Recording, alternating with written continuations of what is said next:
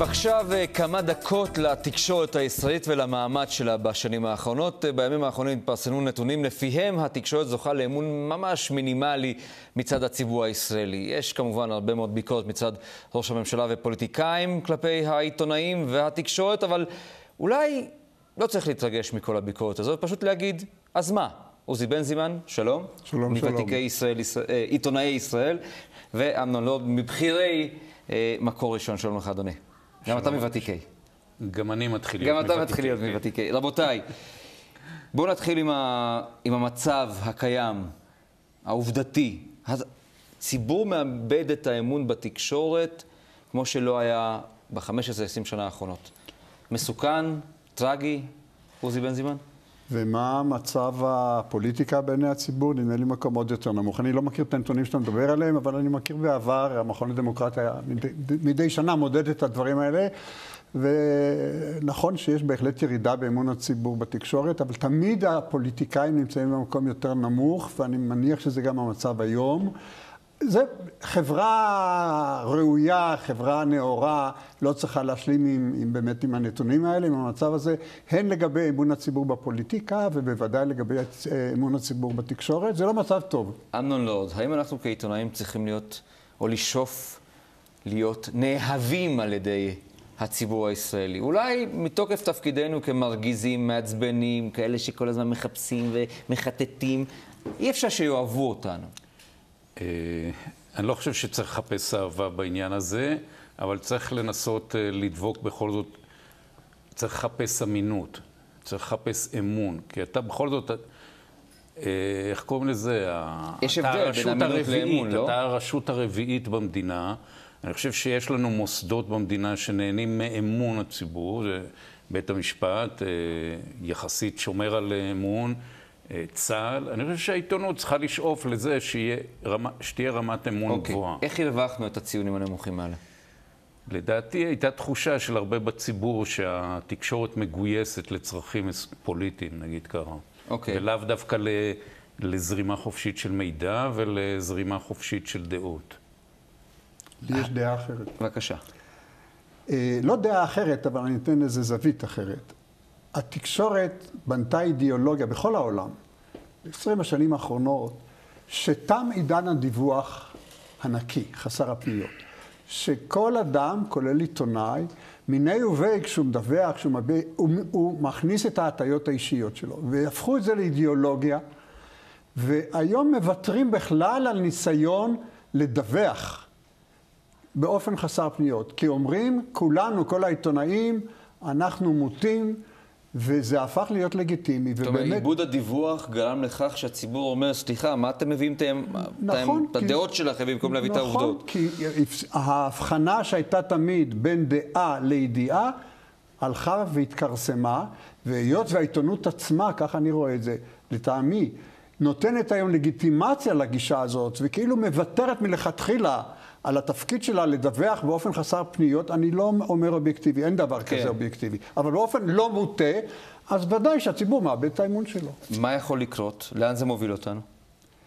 זה מוביל אותנו למקום לא טוב, כי באמת, אה, אם אתה קורא היום אה, עיתון, צופה בטלוויזיה, ואתה יודע מראש שמי שמדווח מזוהה בעיניך כמייצג או זרם פוליטי או דעה, אתה לא תפסיק להאמין בו, ואז הציבור ילך לגמרי לאיבוד, כי המציאות תהיה לחלוטין מתעתעת. אוקיי, okay. אתה עובד, אמנון לורד, בעיתון שהוא מזוהה. אה, הוא מזוהה פחות כן, או יותר כן. עם, עם, okay. עם, אוקיי. עם צד אחד בזירה הפוליטית, ועוזי בנזימן עבד בעיתון... זה לאו דווקא, זה לא היה אמור להיות ככה, אבל אה, זה קרה, לא זה, משנה, קרה. זה התגלגל לכיוון הזה. ועוזי בנזימן עבד בעיתון במשך הרבה מאוד שנים, שמזוהה מהצד השני. הציבור גם, יודע. גם זה לא היה ככה בעבר, דרך אגב. אבל הציבור היום יודע, אם אני קונה הארץ, או אני קונה את העיתון שלך, או בבירור אני יודע, אז למה אני, מה, אני אקרא פח... אני, אני לא אאמין לך, אני אאמין לך פחות? יש בעיה עם הזיהוי? זאת הבעיה? לדעתי יש בעיה. אני לא אומר ש... גם בחוץ לארץ אתה, אתה יודע שהוול סטריט ג'ורנל מזוהה עם צד יותר שמרני, עם ליברליות כלכלית, אבל הוא שומר על רמת אמון אמינות מאוד גבוהה בתחום מסוים, נגיד, בכלכלה.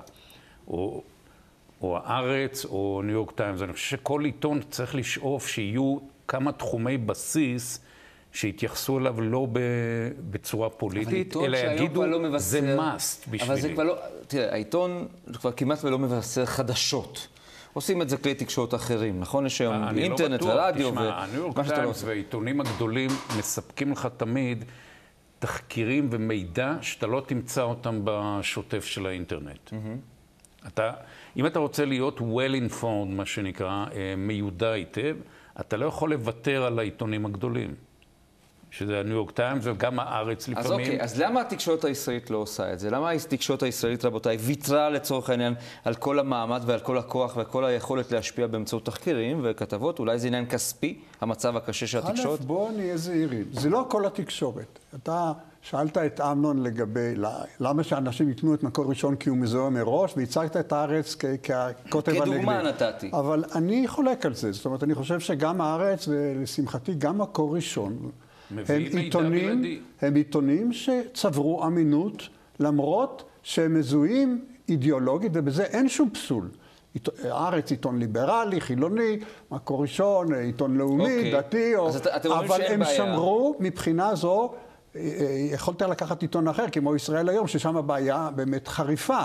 אבל במקרה המסוים שאתה הזכרת, אני חושב שהארץ שמר ושומר על האמינות שלו, למרות שיודעים מה הדעות שלו. כשאתה קורא ידיעה בהארץ, אתה לא חושב מלכתחילה, או לפחות חלק גדול מה, מהקוראים שלו, לא חושבים מלכתחילה שזה נועד לנגח מישהו, אלא אומר, זאת, זה המצב. אחר כך יש מדפדף.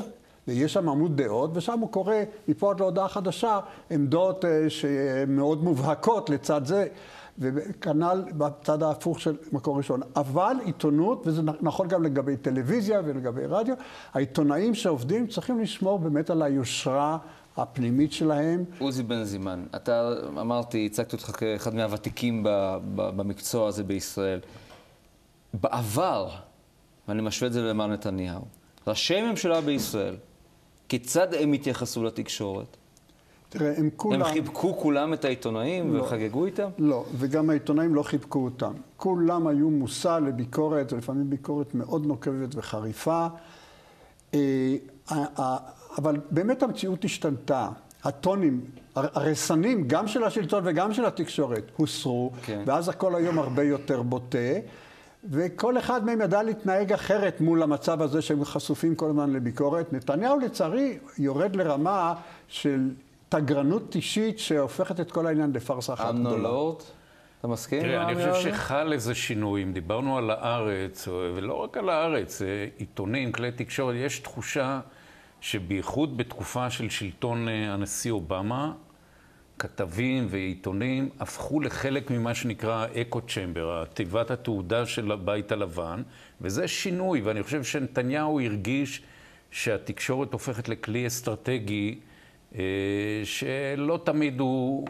שהוא לרועץ למדינת ישראל. אתה חושב שזה נכון מה שעושה ראש ממשלת ישראל בניגוח הזה מול כלי התקשורת? לא משנה איזה. לא, הוא יכול אה, למתוח ביקורת, להגיד את דעתו, לדעתי... שתי הדוגמאות האלה, בייחוד התגובה הזאת לאילנה דיין, היה מוגזם לגמרי. זה דבר, אה, זה כאילו הופך את כל התוכנית של אילנה דיין למין משפט ראווה, שבסופו היא עומדת ומדקלמת את אה, מה שהתובע שם בפיה. כן. רבותיי, בואו נקווה שבדיון הבא שלנו, בשנה הבאה אולי, על עתיד התקשורת ועל מצב התקשורת.